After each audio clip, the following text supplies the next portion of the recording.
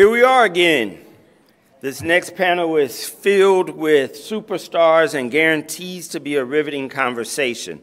I'll turn it over to Genn Bugg of Brown and Crouppen Law Firm and sponsor of this conference to introduce our next panelist.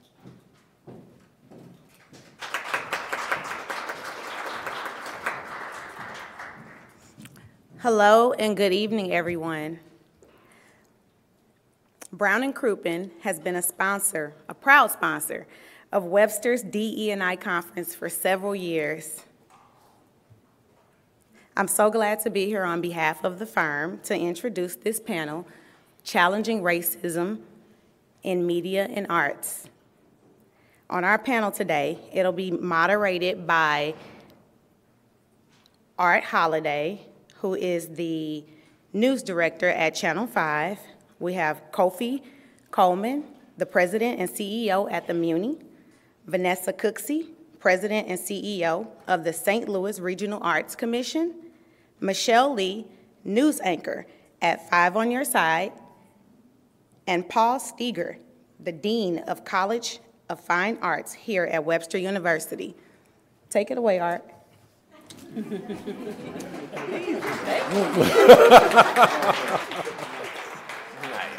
Well, I guess I'll take it away. Um, good afternoon, everyone. Uh, I was asked to make a brief opening statement, and then I'll introduce uh, our uh, panel. Actually, I guess we don't really need to reintroduce them because we just introduced them. Um, so let's begin with for systemic racism and social injustice to be eradicated, media and the arts can have a critical role in creating an equitable society. Following the high profile deaths of Breonna Taylor, George Floyd, and other black people at the hands of police, media and entertainment companies have started to take a stand against systemic racism.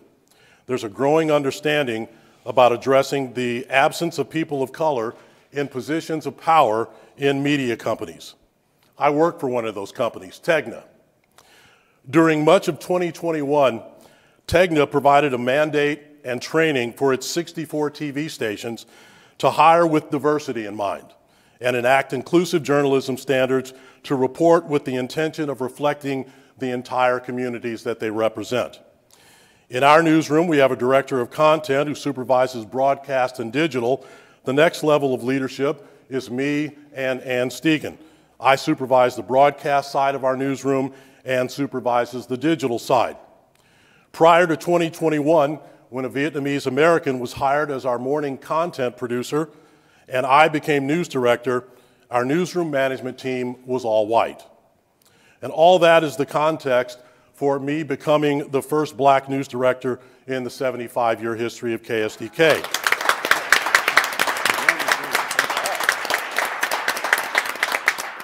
So, what does that mean? It means I have an opportunity to serve our newsroom and our community it means I play a key role in mentoring, coaching, recruiting, and hiring. And it means doing a good enough job that it won't be 75 more years before there's another black news director at a St. Louis TV station. So, what are we doing differently at KSDK? We recognize that mugshots live online forever now. And so we created a mugshot policy when we use it, when we don't. Without specific criteria for the use of booking photos, we risk reinforcing stereotypes and doing harm to people who may have their charges dropped or who may be ruled not guilty. So if KSDK is not going to cover a criminal case to its conclusion, we don't use the mugshot. We've made it a priority to tell stories that more accurately reflect our entire community. And we've developed multiple ways of tracking our storytelling to hold our newsroom accountable. We recognize that our viewers may have a story to tell, but they don't understand how to pitch a story to a te television newsroom. So when people write to me at newsdirector at ksdk.com, they receive an automatic response which includes instructions on how to pitch a story. Who, what, when, where, why. Why will the audience care? What happens next? What are the video possibilities? What's the contact information for people that we might need to interview? that's what some of our newsroom uh, has been up to during my 14 months as news director. So let's begin uh, the, the, conversation today. Uh, my colleague, Michelle Li, is an anchor and reporter at KSDK, five on your side. The Washington Post knows about Michelle, so does CNN and Yahoo.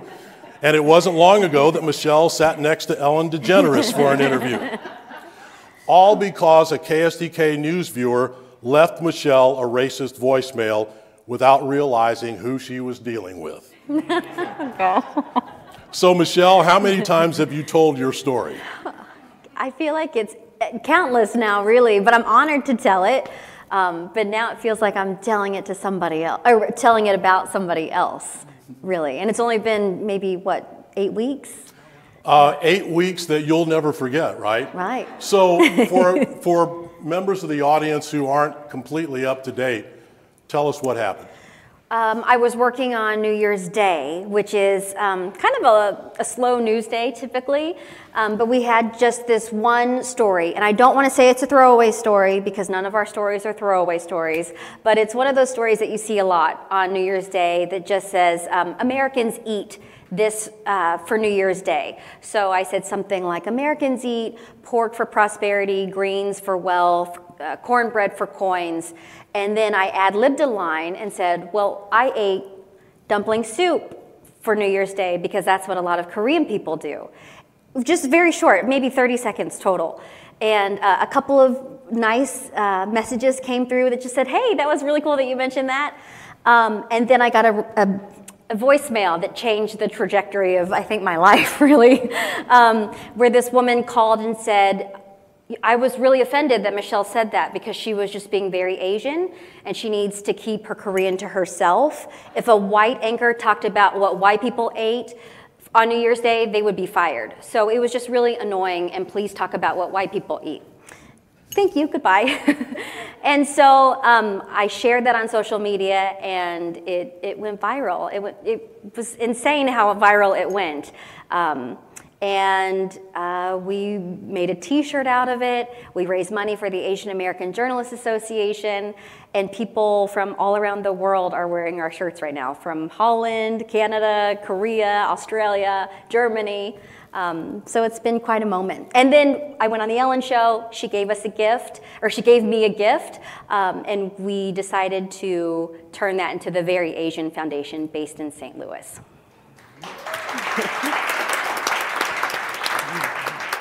So, Michelle, I had a front row seat for some of what you went through, but not all of it. Um, I mean, you were being pulled in a lot of different directions. Uh, this became an international story.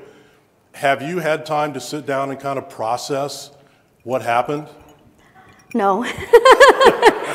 you know, a lot of people say, oh, I bet it slowed down for you. But really, now it's ramped up exponentially because we have this foundation work to do. So we're building a plane in midair. We've got bylaws to create, a board to expand on. How are we going to um, come up with fundraising? What's our mission statement? Who are we going to help? You know, all these things so that when you donate to the Very Asian Foundation, you need to know exactly where your dollars are going, all these things. On top of that, um, we're getting ready for May, which is Asian American Pacific Islander Heritage Month. And so a lot of ERGs are saying, hey, can you come speak to us? so it's been really great, um, a little overwhelming, but um, I have not had time to process it. I think maybe when I'm really far in the distance, I'll be able to process what happened. But that's okay. I mean, we just kind of wing it every day anyway. well, I think I'm speaking for our entire news organization, but I'm certainly speaking for myself. The, the classy way that you flipped the script on this was phenomenal. Um, when we're in the public eye, like Michelle and I are, you get all sorts of feedback, and, and some of it's unpleasant. Um, as you found out, as I found out. Um, and my first inclination is to uh, lash out. but the, the video that you did, if you haven't seen it, look for it online. But you hear the, the caller leave her voicemail, And Michelle, you were sipping a cup of coffee, weren't you? Mm-hmm. And just kind of, mm, you know, the look on your face was priceless. You didn't say a word, but the, the, the reason it went viral was the way you handled it. And that was a big part of it. And then uh, obviously we, you know, we just heard the rest of it. But, um, you know, we, we celebrate you at KSDK. Uh-huh. Um, we don't really care to be the story. You know, we're, right. we're old school. We like telling the story. So it's always uncomfortable when you become the story, but yeah. uh, well done. Oh, thank you very much. It's you're right. It is hard to be the story. I mean, it, it's one thing when you put things out on the ether and you think that you're never going to hear anything. I knew what I was doing by putting it out on social media, but I thought it would have the same the same 10 people interact with my content. You know, I really didn't think that it would get outside of those boundaries. And so then it really did become uncomfortable like wait now wait people see this? And it was you pretty know? much it was pretty much overnight wasn't it it? was overnight. Just a matter of hours. You know i went to I went home at 10 30 11 o'clock and woke up in the morning to a different world. So um, it was it was fast and it's and that kind of stuff is terrifying. I, i've never been viral like that before and it was it started to get really scary. I mean i was scared at first like oh man am i going to get a call from art? Am i going to get fired? I did get a call from you but it was really nice. You know because that's when you start going oh did i go too far? I right. was really nervous about it. That's quite a story michelle. Thank you for sharing that. Uh, vanessa and kwofe you represent two of st louis's most significant arts organizations the Muny and the Regional Arts Commission. Um, when it comes to diversity and, inclusion, the arts have the ability to bring people together. But when there's turmoil in society, it's often artists who use their talents to shine a light on what needs to change or to hold the powerful accountable. Would you share your thoughts about those roles? Vanessa, we'll begin with you. Thank you so much, and thank you all for having me. Thank you, Vincent, for this invitation. And the role of the Regional Arts Commission, we are the largest public funder of the arts in St. Louis City and St. Louis County. And for the last 36 years, we have invested in artists and arts organizations that make our community vibrant and thriving. St. Louis benefits from one of the most creative cities in the country. Cities twice our size don't have the arts community that we have. And what makes that special not only is the environment in which we create for our residents to experience new stories, new narratives, and to challenge, but also people who come to St. Louis to visit. More people come and visit our arts and culture than all of our sports teams combined. If you look at the impact of our economy and jobs, and when we talk about who St. Louis is, it's the creatives, it's the artists that tell our story, that challenge, that help us to heal. How many of you benefited from an artist during the pandemic when we were all on lockdown? I know I had a neighbor who got his guitar out, went down his front yard, and just played for us, right? It's the music that soothes our soul. It's the storytelling that brings us together, and RAC is so proud to have a front row in investing in that creativity and holding ourselves together and accountable through storytelling and narrative. You know, uh, for us, for the Muny, it's our job to be a platform for those artists, right? We have to, we have this megaphone because we're the oldest, largest outdoor musical theater in the world, right? So um, with that comes the responsibility to make sure that we're a megaphone for everybody. You know, so how we tell those stories, who tells those stories, who's at the decision-making table about which stories are told, those are all responsibilities that we hold, that we have. So um, as, a, as the first black president and CEO, I, I take, bring my identity to that job and say, well, who am I bringing along with me to make sure that when we pick a season, when we read a script and decide what should be in it or not, it's taking into account every perspective that's in this community so that when the audience comes and sits in, they all see reflections of themselves on the stage and in the process. And it's not an easy thing to accomplish. It's not a wildly diverse um, industry from a leadership perspective right now, but it, it's something that, uh, you know, I, you, you talked about not being the last.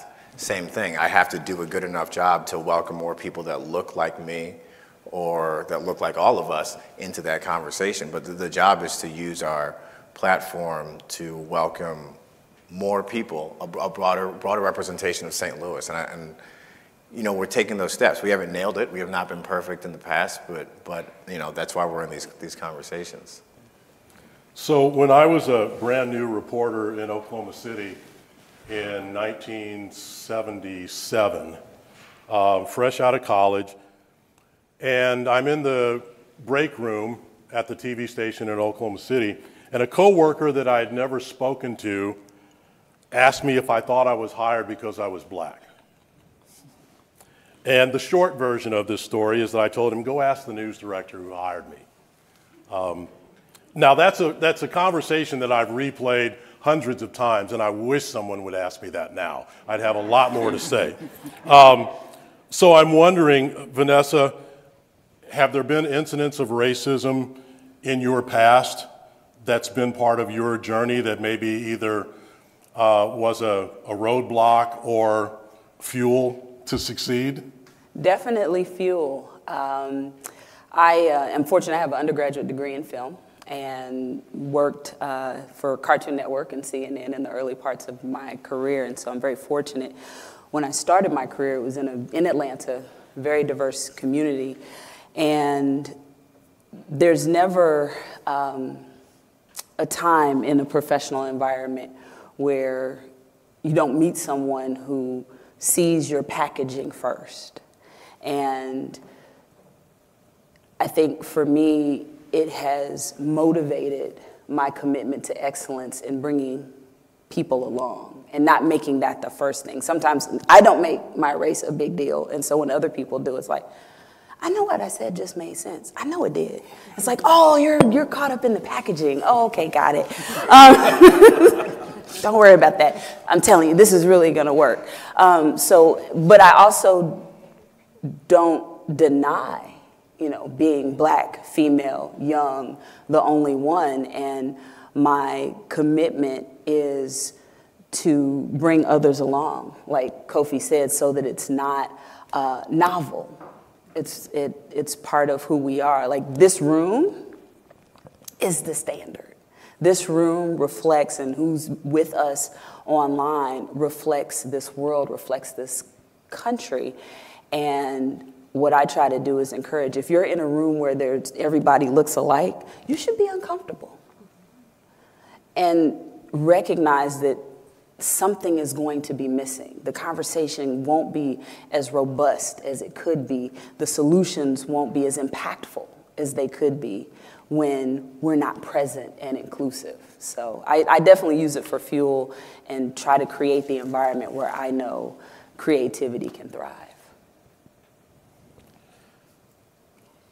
Paul, um, my boss recruited me for this particular position of authority, uh, an inclusive hire that gave me a leadership opportunity. Uh, and KSDK is being intentional about cultivating leadership roles uh, for people of color. What are some of the things that need to happen for more underrepresented people to have decision making roles of power in media and arts organizations? That's a great question, Art. Um, That's what I'm here for. you know, I, I mean, I have a little byline in my signature of my email, and that is try never to be the smartest person in the room. And if you are, you should invite other people or find another room.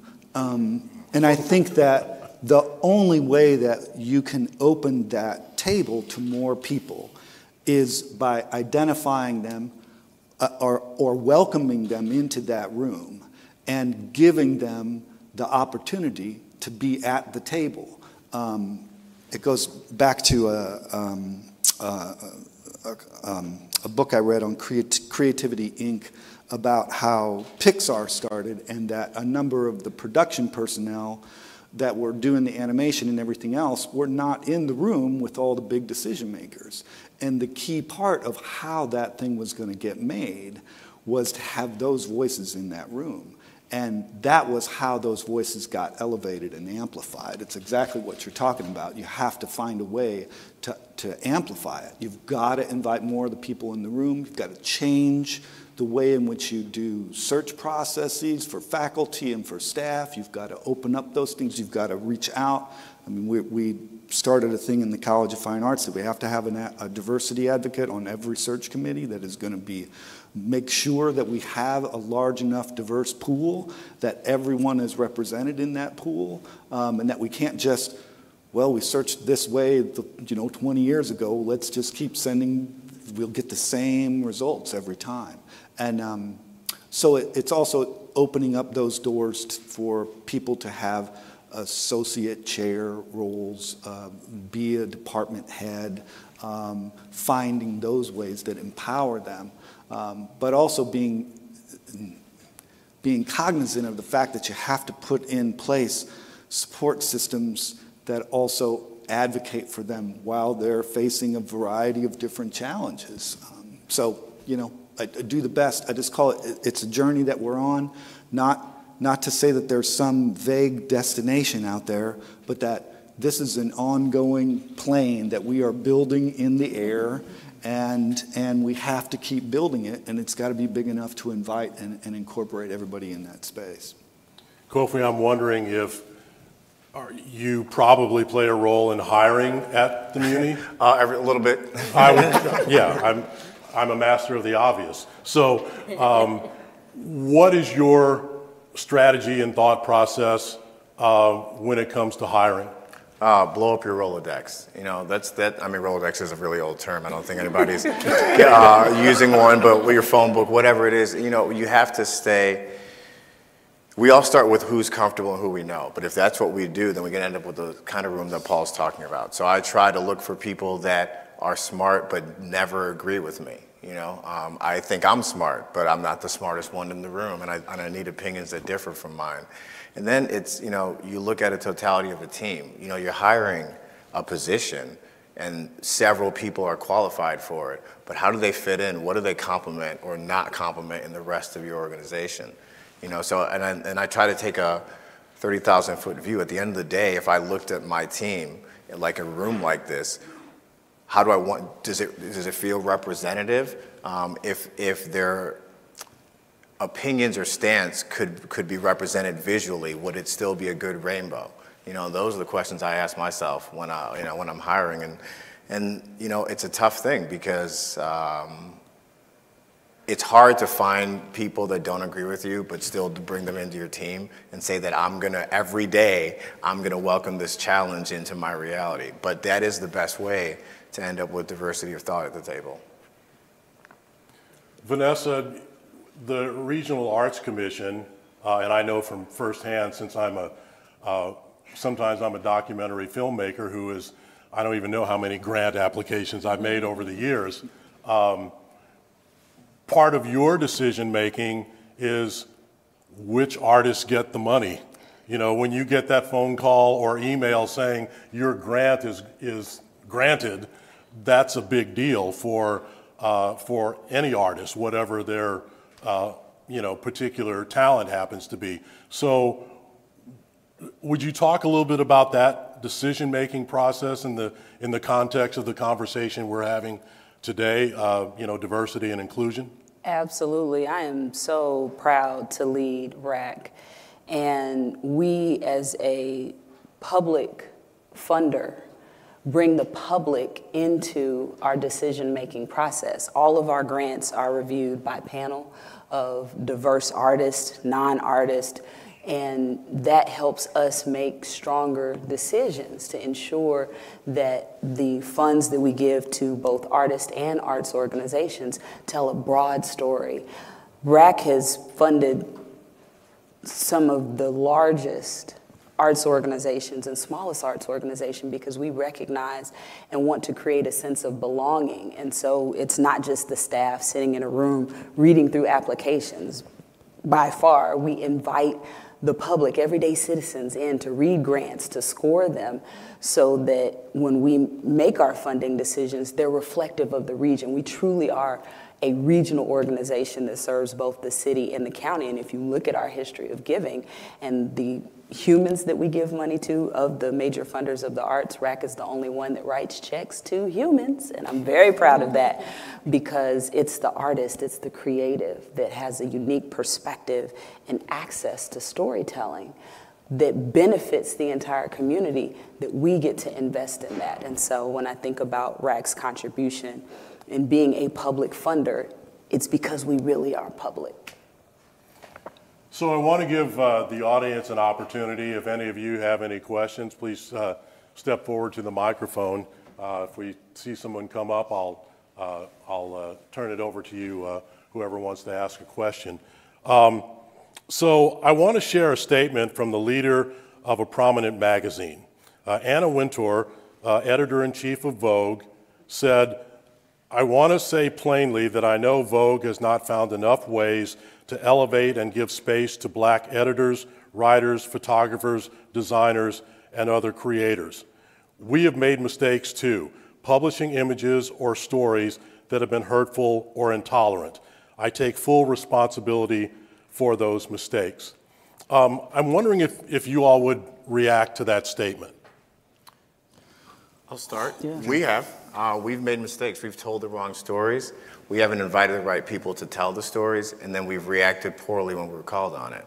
Uh, and that's something that, you know, we, full disclosure, you know, uh, we have to be able to own that on the front end. And I think when other people own that, we also have to create the space to not be punitive to help um, learn and move forward. You know, I have educated myself, I've educated my colleagues, our, you know, from a board level on down, we have those conversations, but we've, we've presented shows that, that uh, should have been retired long before. So I think that the major, major step is being able to look the world in the eye and say, hey, we messed up, we made a mistake, or we didn't progress uh, in lockstep with the world. The world has moved forward appropriately and quickly in the past five to 10 years. In institution, when you're 104 years old, you move slow for a number of reasons, um, slowly. And so that's, that's um, just, we'll just leave that right there.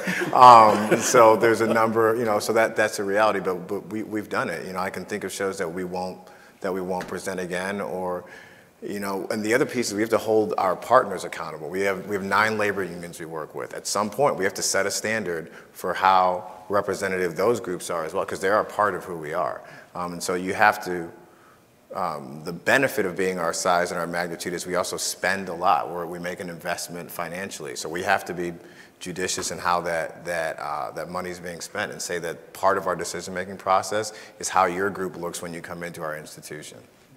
Yeah, ditto. I yeah. mean, made made mistakes. Have to own up to that, yeah. right? Because otherwise, how how do you help others acknowledge the fact that when they make a mistake, it's okay to say, "I made the mistake." Now, how do what do we do to fix that? And you know, we we've most recently had a show that we were going to do, and it did not work out the way that we felt like it should in order to move forward. So we stopped it, redid it, rethought it, remounted a new thing, which turned out to be a much more satisfying experience. While it was a challenge working our way through it, it was, you know, it was just the right thing to do. The right um, thing to do is so, really important. Like, okay, just it's just right. It's going to hurt. You're going to feel bad. You're going to do it, right. But it's it's you know? the right thing to do. I mean, it's like when you're a kid and you have an accident with your car and you got to go tell your mom and dad that I, you know, I knocked down the no parking sign or whatever. You know, you've got to own up to it because it's not going to go away, right? Because that that's that's what's happened for far too long you know, need, if it's uncovered, let it be uncovered and let it find a new, a new life that's, um, you know, uh, that allows everybody to move forward. And when, you're, when you take that kind of responsibility, then you're transparent about it and you also take ownership of it. And, and that's the only reason why people will begin to trust you. That's the only way. And, you know, I would, and thankfully, I think the world is less accepting for you to sweep it under the oh, rug. Gosh! And like you, because of the rooms like this, you can't do that and not acknowledge it. And I think that that accountability is important too. Like we have to congratulate the room. we were talking about this before. Some of these panels, you end up in a room like this. Most of the people out here aren't the ones that need to be educated in it, but you're the ones that don't let everyone that, that hold us accountable. You know, I'm I'm me, but I represent a bigger machine than myself that doesn't always agree with me. But I can turn and say, look, if we don't do this the right way, this public, who is who we represent and who we serve, is not going to let us uh, exist in the gray area anymore. And I also think that it's about word and deed. You know, oftentimes when crisis happens, we respond with statements, which are words, which are helpful. But then what are the actions that follow that? And being able to sustain that action, um, there's a radio personality, Joe Madison, and he says, What's the difference between a moment and a movement? And the difference is sacrifice. And this work is hard. It's a journey. It's it's daily. That's just the nature of being human is managing a series of ups and downs, just like our heartbeat. And being able to stay the course. And when you mess up, you get back up and you keep going. It's sacrificing time, resources, ego, effort to make sure that the statement that you put out, whether it was in 2014, 2019, you know, really comes to life as your lived experience. So it's matching that word and deed and sustaining it. I wonder about Anna Wintour as well, though. She's had this really great long career, but I don't really see her sharing the limelight with a lot of folks. Can I just say that? I mean, as someone who's been, you know, a reader of Vogue for many years and seen the, some of the decisions she's made, um, it's great that she says that, you know, but I do think that that's why representation does matter because people, I will say, I've never had a, a manager or a boss who looks like me that is okay because I just need people to lead with empathy. You know, someone who can say, Oh, I know what it's like to be a parent of a new baby, or I know what it's like to be a person of color and not hear your pitch, you know, that you're making.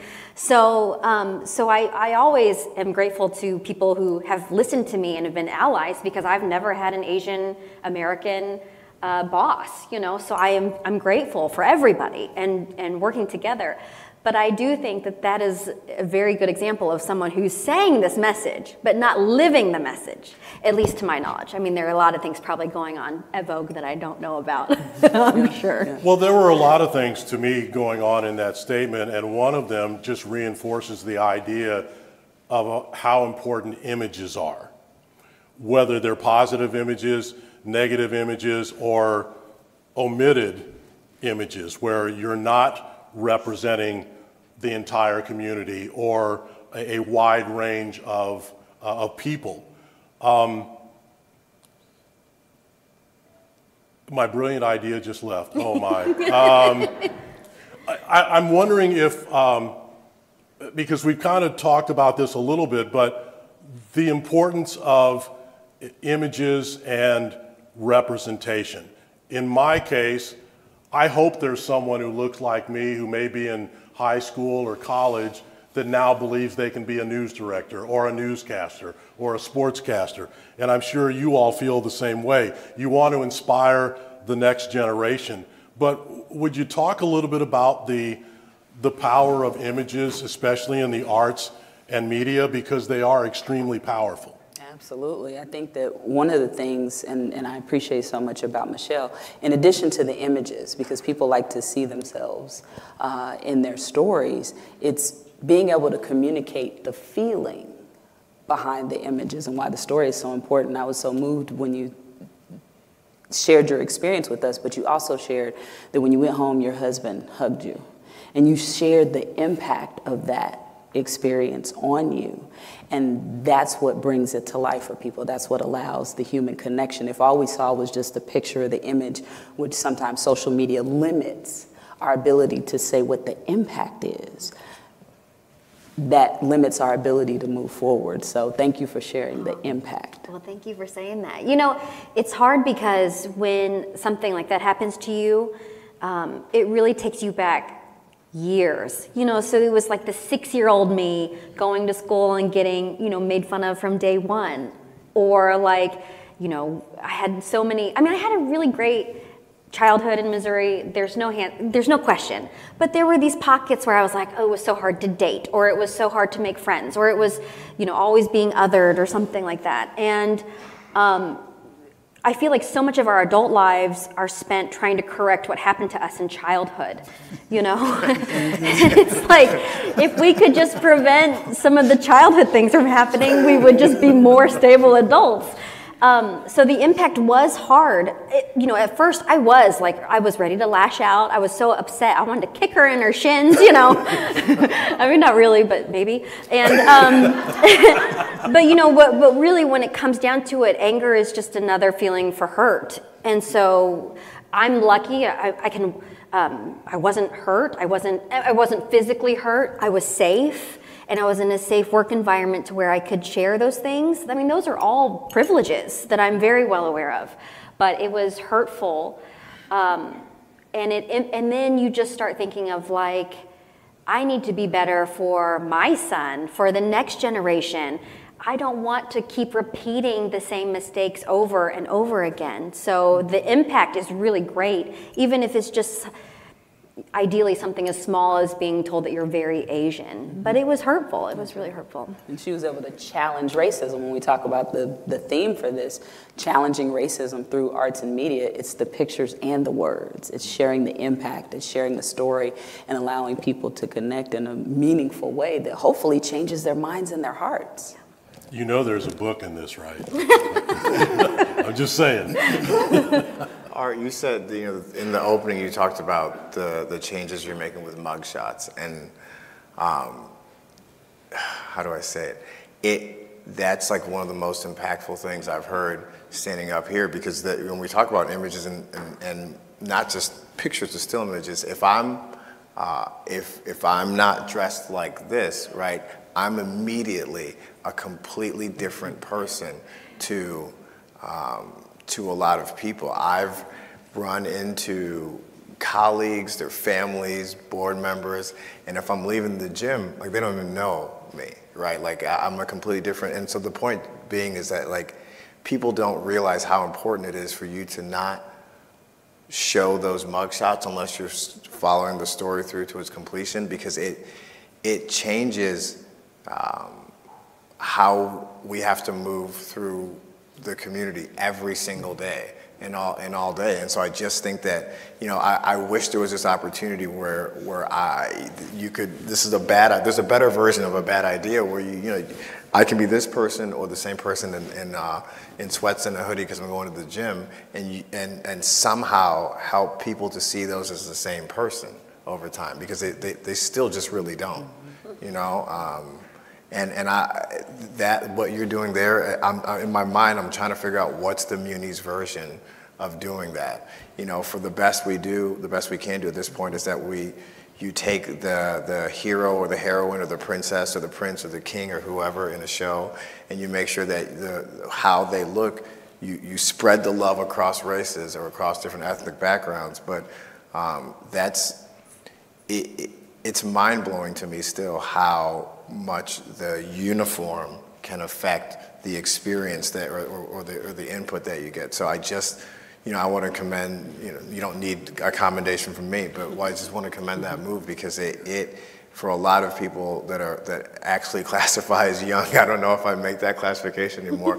it's going to change uh, slowly, hopefully, move the needle in, in, how they get to exist, at least in this town. Yeah, there's a lot of power in art and media and how we hold it in esteem. And with great power comes great responsibility. And so you're taking responsibility for these images, if left unchecked, would have created an environment for mistaken identity and shaped his experience.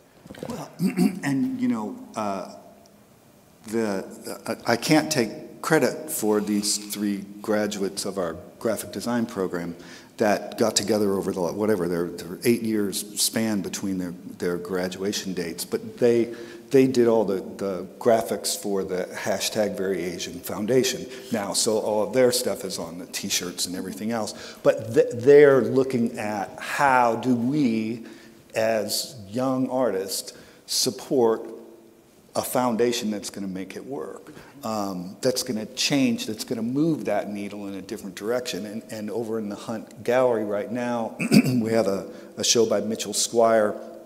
It's called What I See, I Steal. And he's an African American uh, photographer who has a, a large kind of um, curtain of images of the black male reclining because he said, you don't see that image very often. So for our students to be and public to be able to go into that gallery and see a wall of this series of images is should be if it's not new to them, it should be welcoming, and if it is new, it should be welcomed, right? It's, it's how do you create an image or how do you support an image um, that's going to change the way people think? That when I walk out of the gym in my hoodie and sweats, they're not thinking about me. Yeah. Um, you know.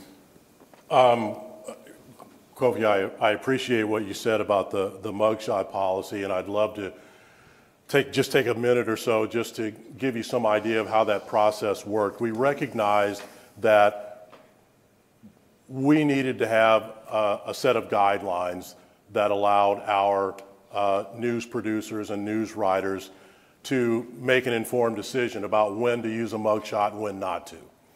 Um, in part because we've all watched enough newscasts to know that there's frequently a steady diet of mug shots. And many of those mug shots are of African American men. And in a city that still struggles with segregated populations, where you don't necessarily come in contact with people who don't look like you, if your only idea of young black manhood is what you see on a TV newscast, that can really skew attitudes and um, stereotypes. So, in that context, we formed a committee. And I did a lot of research because we, we were, you know, we were kind of late to the party on the mugshot issue. But the tipping point was websites. Because once a mugshot is on a news website or somewhere else online, it doesn't go away. So someone could be charged with a crime and a booking photo is taken and a news organization uses it and then someone could have the charges dropped or they could the conclusion of the trial they could be found not guilty but the mugshot still lives so if that person who never went to prison goes to apply for a job, well, what employer doesn't go online and do some research on their potential hirees? What's going to come up? That mugshot. So we could actually do harm to someone uh, if we use a mugshot where we don't follow the case to its conclusion. So, what were some of the criteria? That was one of them. Is there imminent danger to the public? You know, is there, is there, a, is there a gunman that's been identified that's still on the loose? Or are there potential victims of this individual who might come forward and testify or alert the authorities that they too were victimized by this person? Uh, you know, so there were, we probably had 12 criteria, but the, probably the most important one was talk to a news manager before you use the mugshot. So it, it becomes, now it's a conversation instead of just one person deciding that they're going to use the mugshot. So anyway, I just wanted to, to kind of give you all a little bit of idea of how we went about it. It was a really thoughtful process, uh, probably took maybe five or six weeks, multiple meetings. Um, but uh, we hope that that gesture or that, um, you know, those guidelines will make our news coverage a little more equitable for uh, people who are in the early stages of the criminal justice system. Oh, thank you. Applause is good. That's, um, what about retention of the people that you already have? I know um, one of my roles at KSDK now is to help create a culture in our newsroom that attracts people, that we're trying to hire and hopefully makes them want to stay a little bit longer. Uh, so how do we do that? You know, we um, encourage people to have a voice. Everyone has a say in what we do, even if we disagree. You know, so if you have an idea or a problem or a disagreement or an issue, we can't deal with unless you speak up. So you have, you know, you are empowered to speak up in our newsroom. So that's one thing. Training opportunities, mentoring opportunities, um, and uh, regular meetings with a news manager so that no one's wondering what their status is or how they're doing. So those are all things that we're trying to do to attract and retain. And I'm wondering, in the case of uh, RAC, in the case of the Muny, in the case of Webster University, when you get um, underrepresented employees, how do you keep them? And, what, and what's the strategy for that? We start with culture. Uh, we are very intentional about the culture that we're creating, and we asked ourselves, how do we want RAC to, what do we want our experience to be both as team members and for our grantees? And the word that we came up with is creative. That's how we want to be known. That's how we want to be experienced. And each letter in the word creative means something. So the C means connected. And not only did we define our values, but we have individual behaviors so that we know what success looks like or what, how creativity shows up and collective behavior. So we spend a lot of time ensuring that we're building the kind of culture where creative, talented people can thrive. We've upgraded our benefits and just being intentional, not just about inclusion, but a sense of belonging has been essential to rebuilding RAC and how we attract and retain talent. So culture is number one. Yeah, I mean, uh, it is.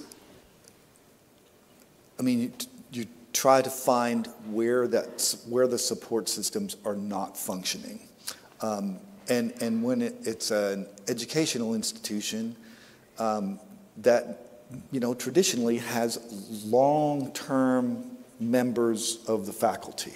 It's when when the students come and and tell me, you know. Um, uh, not for us without us, right? Um, we've got to be a part of the conversation. We would like to see this needle move from where it is right now to this level of inclusion. It's difficult when there are, uh, I'm not saying it's not impossible, um, you know, it's just, it's a challenge when um, there's a long-standing group of people that it's difficult to change what I refer to as the kind of foundation of what it is that you do. But when when you're trying to change that foundation at, at, an academic institution, you have to do that kind of surgically, where you're putting things in the right place, you're building support systems, and it's not always perfect right off the bat. Um, and we're still struggling with that, and we're still try, trying to find the best ways in which to support people so that we can keep them here. But the honesty and the culture of, of acceptance and, and welcoming of the challenges that they face and, and also that, you know, I'm sorry, that, that one or two or three individuals cannot now be responsible for all of our diversity, equity, and inclusion efforts, right? Like they've got to be on every committee, and it's just not, one, it's not fair, two, it, it just, it, it, it, is, it does not help sustain them as, as members, valued members of our community. So it's a long, we're working on it.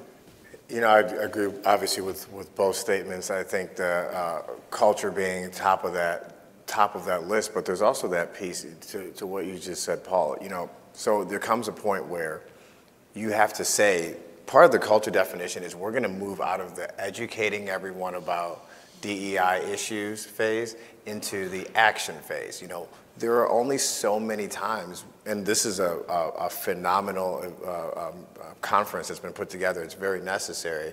Um, but some point you say to yourself, when do we stop talking about it? Um, and when do we start doing doing something? And, and in our institutions, how do we retain the, the people that are underrepresented um, by being upfront with the action as well? You know, no one is interested in, in too much of a uh, a runway of lip service. You know, we all make statements and we all put out um, action plans, but what are, what are we doing about it? And that's what I've found, you know, and one of those steps is making sure if you have one, they're not one of one. You know, an action step, a true step is showing that no, we are actively recruiting to populate this institution with the right mix of, of people.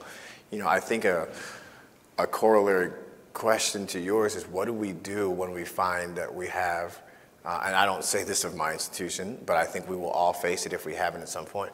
When you have someone in on your team who can do their job, they have the skill set, but they don't believe in the forward thinking or they don't believe in the progress that uh, we know is necessary. You know, one, recruiting is another question. Um, repopulating is, is, is, is, its, is its own, you know, and, and it's, we carry our identities into this job. So if I find, if I were to find a person who didn't believe in the importance of DE&I, and I, as a, as a black man, want to replace that person, is it an agenda or is it the, no, the, the right thing to do?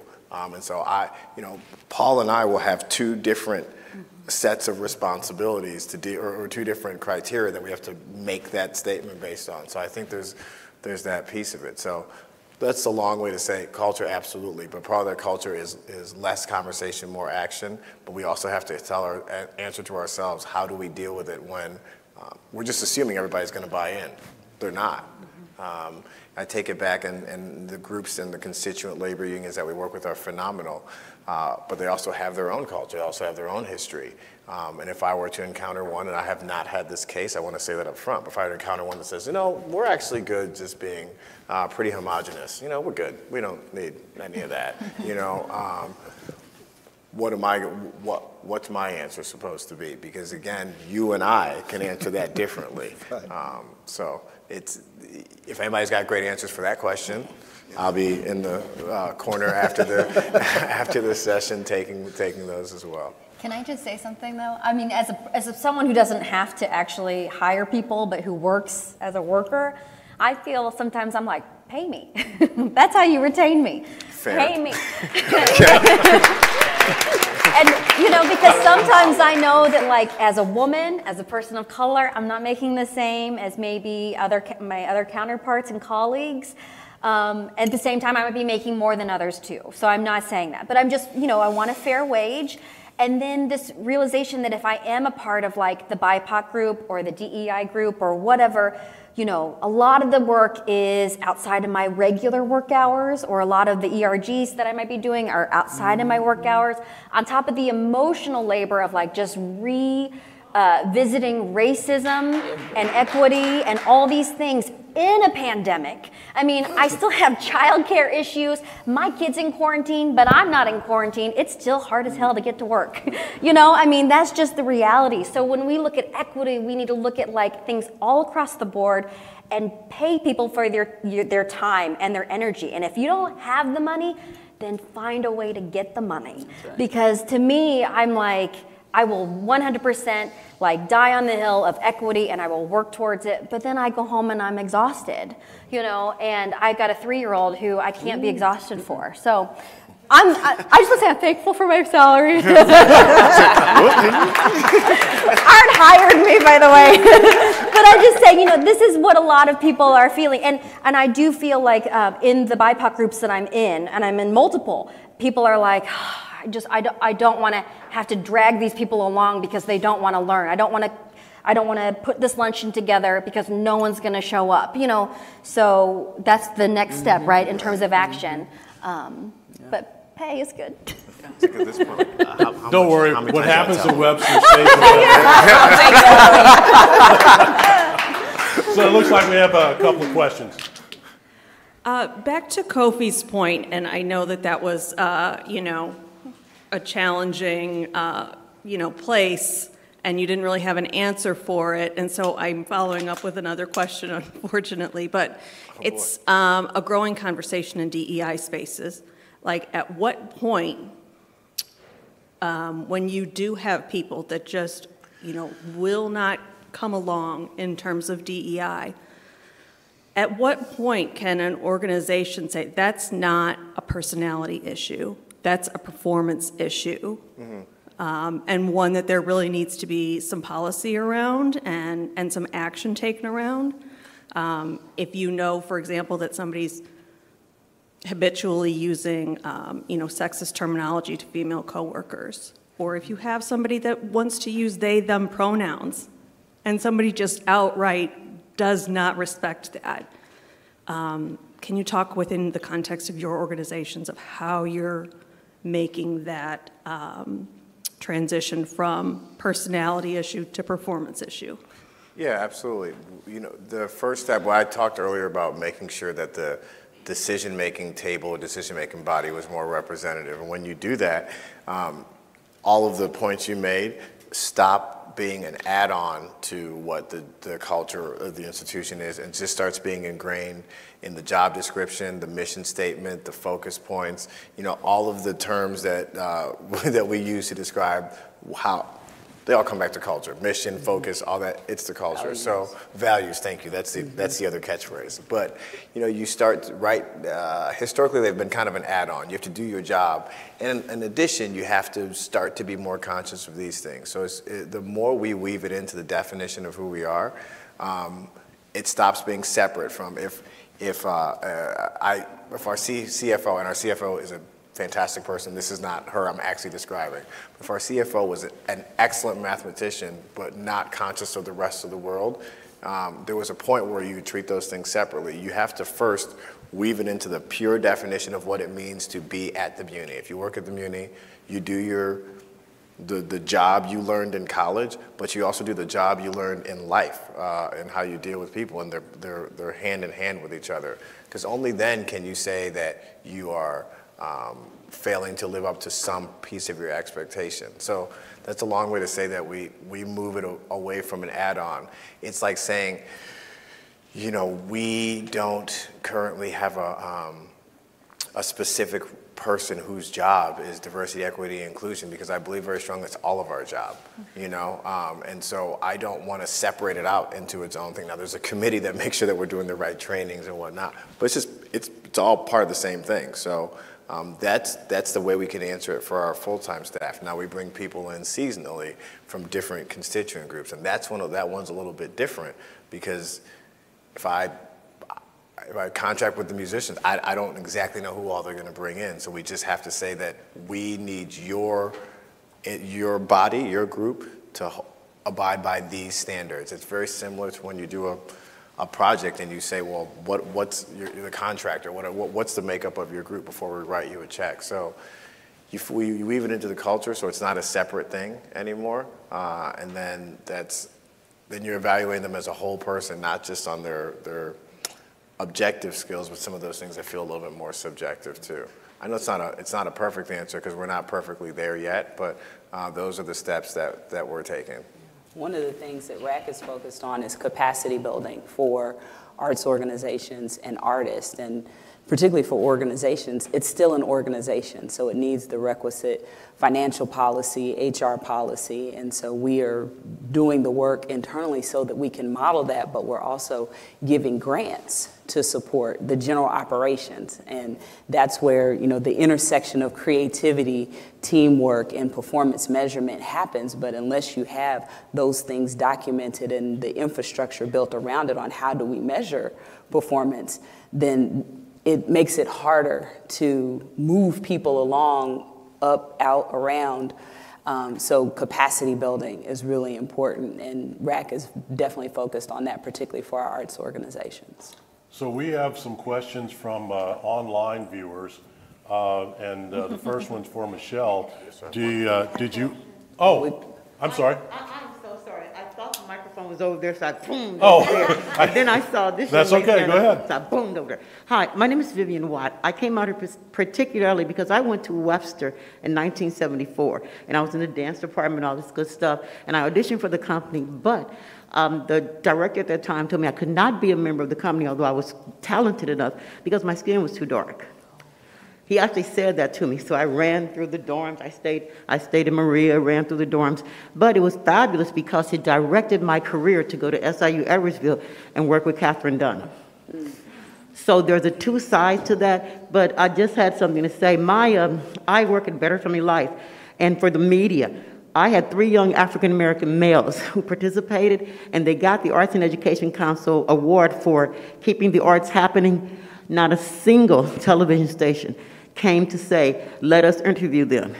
This is something positive in the African American community, especially for those three young men who are high school students. Nobody ever reached out to say anything about them or ask, can we interview them? Can we put them on the station? But we see a lot of other kinds of, of similar or some things that might be considered inconsequential or, you know what I'm saying? But I'm just wondering, when is the media going to change that? Then for Regional Arts Commission, I've been on a number of your panels. Um, I might have taught a relative, Charlie Cooksey. But, but anyway, I don't know when the panels start again, but I don't know if they are really encompassing enough of the community to know that they should come in and want to be panelists. Got it. I performed at the Muny also, and I did Showboat, when you're talking about some shows you may never do again. In 1993, we did Showboat, and there's a song in there that says, ba da ba da ba boom, Mississippi, da da da da, and the word is the N word all work on the Mississippi. I refused to do that because I have children. I said I will never get up there and do that. And we had to fight for them to change it to colored folks work on the Mississippi, colored folks work. So I'm just wondering if that has uh, actually evolved since my kids do perform at the Liechtenstein Plaza or whatever, and we do community access. For all three of these organizations on the stage, I am hoping that the progress we are talking about here at DEI is not just a generalization, but it becomes more specific to the individuals in the community who are really the most important parts to make that whole. Thank you. I appreciate that. Well, let, let me address the part about why there wasn't any media coverage, and I can't speak for any other organization um, other than KSDK, and I don't even know what day that was. I guess my question would be. It was at the, it was at the Fox theater. Okay. Yeah. And um, was someone handling publicity for that event? Did we, did we have advance notice? I don't know. So that's, if we don't know about it, we can't cover it. People automatically assume that if we don't show up somewhere, we've made a conscious decision not to go. We don't know everything that's going on in St. Louis. That's the reason, like I said earlier, that when people email me, I tell them exactly how to pitch a story to us. So I don't know if any of that information got to us. You know, so a lot of times people just assume that because there's a big event that everybody knows about it. If there's not some sort of publicity machine or if you don't pick up the phone or send an email, we may not know about it. To answer the, the, the question about the Muny. Uh, 93 uh, predates my, my first season there was 98. I was 16 as an usher. Um, so was, I had zero decision making power at that point. But to your point, um, Showboat, when I talk about shows that we're never going to do again, uh, so long as I'm in, in a or the decision making chair, it's, it's on that list. I will say that there's, a, there's always that challenge of what, when is a story important or not important to be told, and what, what do you have to uh, what can you change or omit without um, affecting the historical significance? Now, that show in particular, I, I believe that there's just not a necessity anymore. I can tell you that we, we have a really extensive script review process now. Um, when we before we determine a show, you know, I know everybody does a survey and that kind of helps pick the shows. But the reality is we have a good idea um, going ahead because you have to start that process. So there is an extensive script review because at the end of the day, nothing on that stage should. Um, we're here to tell stories, not offend. We're here to represent history, but not represent hurt. So there's a balance there. Um, so I would say that, you, you know, I can, I, I can own that the institution made a mistake then that I couldn't do, but I think we can feel pretty confident that that, that word's not going to happen on, uh, and I say my stage just uh, for the context of this answer, but that's just not a thing we're going to do. Um, and anybody that doesn't agree with that might end up in that group we were talking about formally of how do you deal with them when they don't agree. We just opened our grants for program support and artist support. So please visit racstl.org if you want to be a reviewer. We welcome you. So thank you for, for serving and for all of us, the process is online, so racstl.org. I think we have a question in the middle of the room. Yes, just um, very quickly, I just want to first say that it's so nice to see someone who looks like me up there on the stage. it's been a message here in this conference for the last two days that representation matters, and it really does because it, it feels great to someone to see someone who looks like me up there. Um, my question is, of course, for Michelle because um, the process of cultural assimilation for like people like um, I am personally an immigrant of the United, um, from the Philippines, and I've been here for like 10 years. But for the most part, I've had to go through that process of cultural assimilation, and you've just had to blend into the majority culture.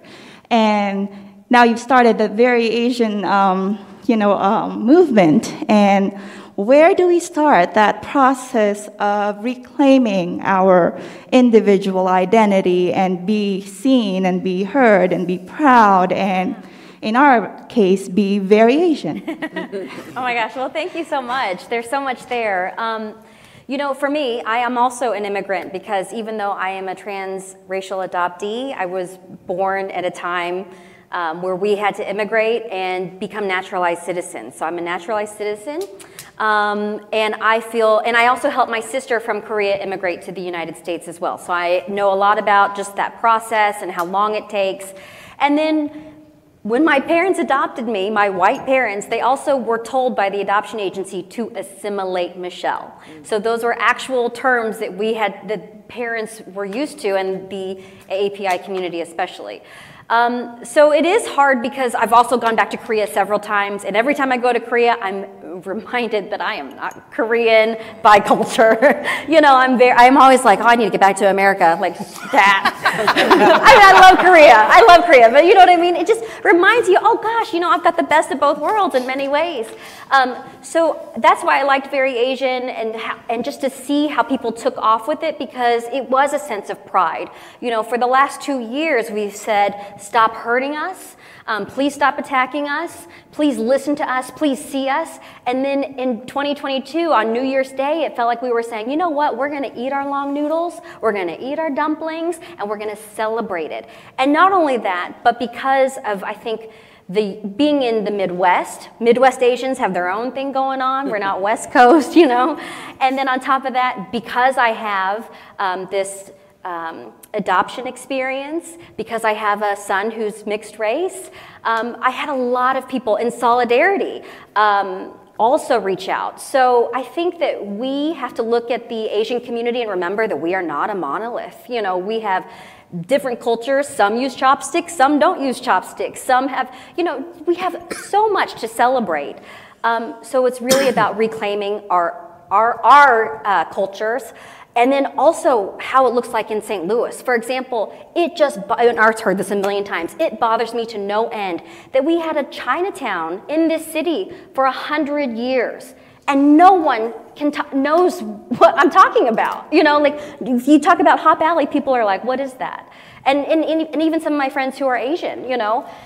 So I, to me, it's like reclaiming history because we existed in this space for 100 years, 20 years after Missouri became a state. We need to right these wrongs. We need to celebrate our history because this is Missouri history, not just AAPI history. So, um, yes, I'm on the kick to reclaim, um, but also just to understand that we all have our own experiences and we all have shared experiences. When we walk out on, when we walk out the door, people see the packaging, right? So we have to celebrate the packaging, but also it's individual packaging as well. So we're going to end with a couple of online stories that we have here. Uh, Michelle, uh, they want to know if you met the woman who left the voicemail. I did not meet the woman. We said we would meet um, when it's COVID safe.